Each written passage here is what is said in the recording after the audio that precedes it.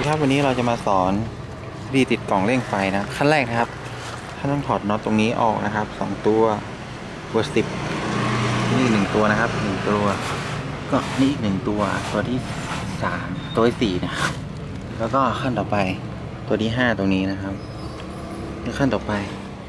ตัวที่หกนะมันจะอยู่ข้างในนี้ ด้านไหนมันจะเสียบเข้าไปในรูนี้นะเมื่อท่านถอดปุ๊บ เราก็จะดึงเฟรม เฟรมมาได้นะครับเห็นไหมเฟรมง่ายๆท่านไม่ต้องทำเป็นก็ได้นะครับจ้างร้านซ่อมมอเตอร์ไซค์ทำอะกล่องเร่งไฟนะครับ อันนี้ผมอธิบาย อธิบายอันนี้หัวเทียนนะครับนี่ปลั๊กหัวเทียนไอตัวที่ผมขายอยู่นั่นคือตัวเร่งเร่งเร่งไฟหัวเทียน มันจะเปลี่ยนปลั๊กจุกตรงนี้นะครับบาย ถือกล้องพวกนี้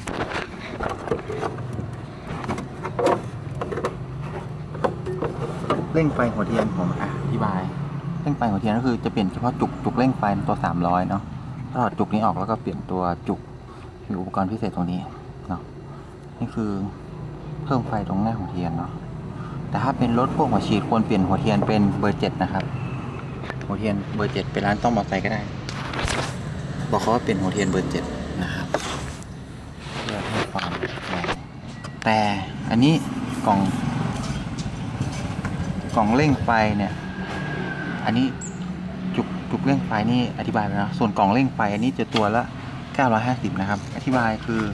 กล่องเร่งไฟอันนี้คอยนะครับเรียกว่าคอยเรียกว่าคอยนะครับ อันนี้แล้วก็ไฟไฟจะเข้าคอยมาแป๊บนึงนะครับ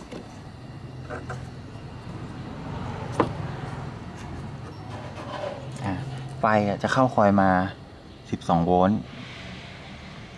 ไฟรถจะวิ่งมา 12 โวลต์ ในคอยเนี่ยจะมีขดลวด2 2ขดเขาเรียกว่าขดแรกขดลวดอันแรกก็คือปฐมยภูมิก็คือไฟเข้า 12 โวลต์เข้าปฐมภูมิ ออกทุติยภูมิก็คือสมมติไฟเข้า 12 โวลต์มันก็จะออกโวลต์ก็จะออกเป็นหลายพันโวลต์เนาะ ออกเยอะกว่าแล้วไปจ่ายที่ปลั๊กหัวเทียนเนี่ยออกตรงนี้ส่วนกล่องเร่งไฟหลักการหน้าที่ของผมก็คือนี่ครับเราดูเส้นสีดำนะครับเป็นเส้นสีดำผมถอดเส้นนี้ออก เส้นในนะครับเอาเส้นนี้ออกสีดำนะครับสีดำนี่ออกก็จะเป็นตัวผู้ตัวเมียเนาะกล่องเร่งไฟกล่องเร่งไฟของผมก็จะมาค่อมนะครับ ดูนี้ครับ ตอนนี้เราถอดมันออกนะครับ เห็นปะถอดออกปุ๊บเป็นตัวผู้ตัวเมียตอนแรกมันเสียบกันอย่างนี้เนาะผมก็ถอดออกเป็นตัวผู้ตัวเมีย ผมก็จะเอาปลั๊กผมก็จะเป็นตัวผู้ตัวเมียนะครับเสียบเข้าไปในนี้นะครับแน่นๆนะครับ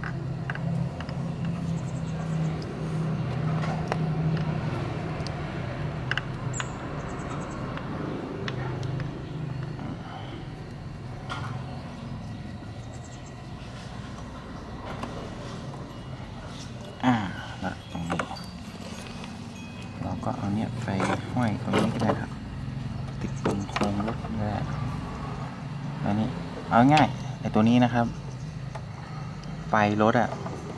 เอาเนี่ยเราไปค่อมกลางเนาะไฟรถมาจาก 12 โวลต์เอาก็เอากล่องเร่งไฟไปค่อมกลาง ให้ไฟเข้าตรงนี้ก่อน เข้ากล่องนี้ก่อน แล้วก็จะออกตรงนี้ ก็คือจากมา 12 โวลต์อาจจะเข้านี้แล้วอาจจะออก 24 ถึง